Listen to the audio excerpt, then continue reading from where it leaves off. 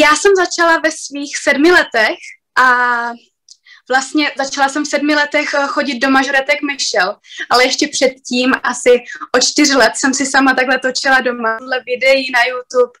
Takže všechno jsem se takhle sama naučila, pak jsem vlastně přišla do těch mažoretek Michel, kde mě naučili všechny ty základy, třetí pozici a všechno takové. A byly to nádherné eh, vzpomínky, takže já na to vždycky ráda vzpomínám.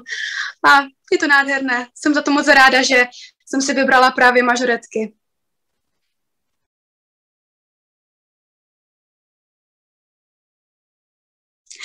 No, já strašně mám ráda pozornost, takže já jsem si roli kapitánky velmi užívala, proto jsem vlastně měla i sola. Já ty mažoretky zbožňuju, já jsem byla vždycky ráda vidět, sice ty sola i ta kapitánka, to jsou vždycky větší nervy, protože ta pozornost jde hlavně na vás, takže byly to nervy, ale užívala jsem si to. Hm.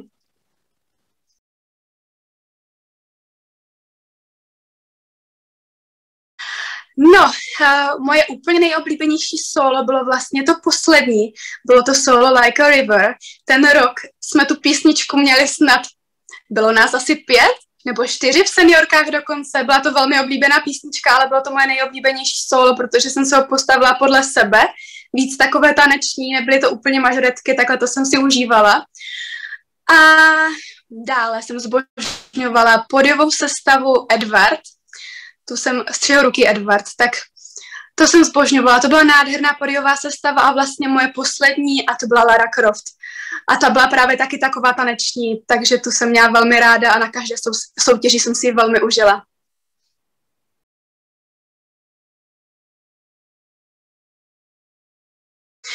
No, myšlenka modelingu. Já jsem chodila právě do mažoretek a měla jsem tam kamarádky a já jsem právě už chodila do Juventusu, kde jsme měli uh, modelingovou soutěž, uh, soutěž krásy, jmenovala se to Karvinská sedmikráska a s holkama jsme takhle přemýšleli, jestli se přihlásit nebo ne. Já jsem to zkusila, vyhrála jsem rovnou dva tituly a už jsem u toho zůstala. Bylo to asi v roce 2013, už je to nějaká doba.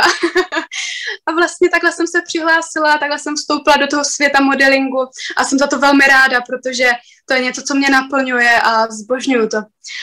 A nápad eh, dom, jít do mis, tak to bylo velké přemlouvání, protože já jsem z toho měla obrovský strach, protože je to velký nátlak právě i médií, právě té soutěže. Byl, bylo to těžké, jako celý ten průběh soutěže byl velmi těžký, ale teď na to ráda vzpomínám, jsem za to opravdu velmi ráda, že jsem se přihlásila, protože to je taková ta platforma vlastně se ukázat tomu světu, něco dokázat, takže já jsem ráda za to, že jsem se přihlásila i, i přes všechny ty nervy, které jsem si zažila.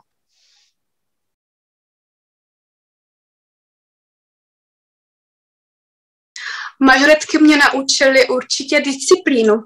Jsem taková zodpovědná, všude na čas, takže myslím si, že tohle mě naučily hlavně majoretky a jsem dříč, když vím, že něco musím, tak to udělám, protože vím, že jsem musela jít na trénink, být tam včas. Pokud bych nebyla včas, tak mě čekaly kliky, dřepy, běh, cokoliv, takže, takže díky tomu jsem zodpovědnější určitě.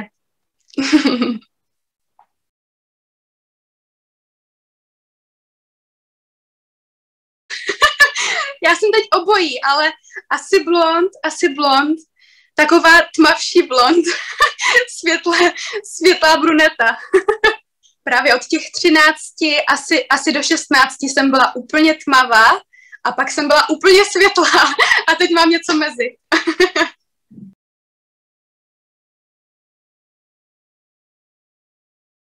No, ty bláho, právě, že mě to naučili mažoretky, protože jsem vždycky líčila sebe, líčila jsem celý tým, takže mě to naučili hlavně mažoretky a samozřejmě, aby to vypadalo o něco lépe, to už mě potom naučili profesionálové na focení a na přehlídkách.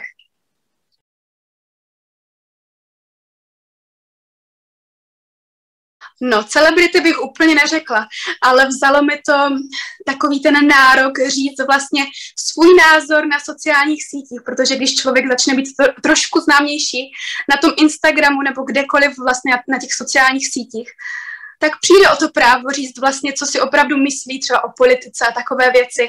To je dost kontroverzní téma, takže uh, k tomu se úplně nevyjadřuju, protože přijde uh, lavina zpráv a nejenom hezkých, takže k takovým věcem se nevyjadřuju a je to mnohem lepší, protože to stojí určitě nervy, takové zprávy.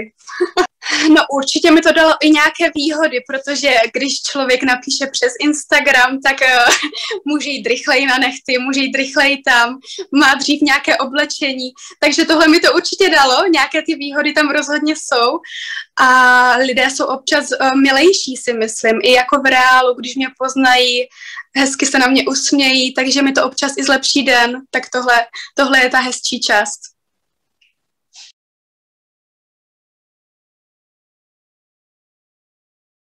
K mažoretkám se rozhodně vrátím. To, že jsem se přestěhovala úplně na druhou stranu republiky, tím to nekončí, protože bydlím pět minut od haly, kde máme většinou mistrovství světa, takže na mistrovství světa se určitě ukážu. A uh, moje nejlepší kamarádka je právě mažoretka, takže já, my, jsme, my jsme byli duistky. my jsme měli duo každý rok, takže Kristínku Foltínovou určitě všichni znají a k mažoretkám se rozhodně vrátím. Nevím, jestli jako komentátor, jestli budu komentovat živé vysílání nebo třeba v porotě, kdo ví, ale na pódiu už to asi nebude.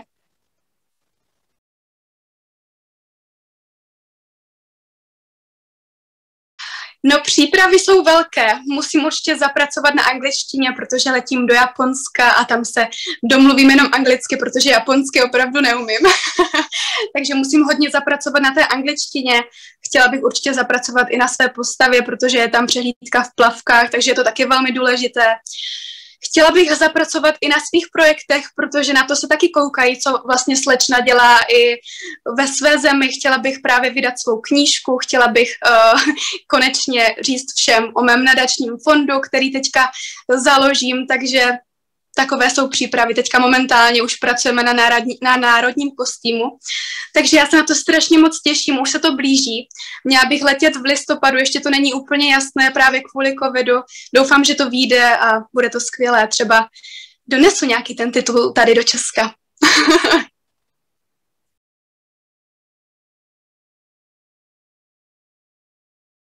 Já bych chtěla poděkovat hlavně svému milovanému týmu Juventus Karvina. Chtěla bych poděkovat vám všem, kteří pro mě hlasovali, aby se mohl vlastně vůbec uskutečnit tady tenhle rozhovor.